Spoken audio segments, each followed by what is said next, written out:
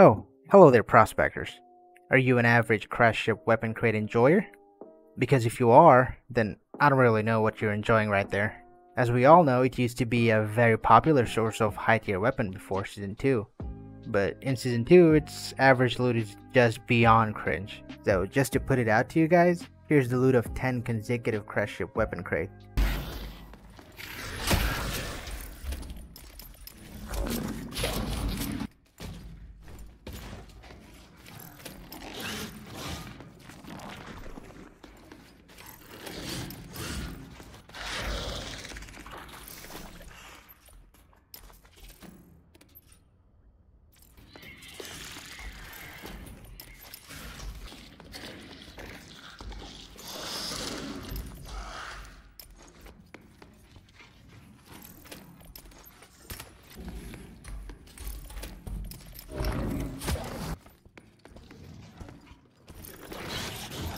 Though I know that there are a lot of people who drop down on bright sands, run towards the jungle, and go for that crate, which all takes a lot of time, aggroes thousands of mobs on you, making you vulnerable to other players.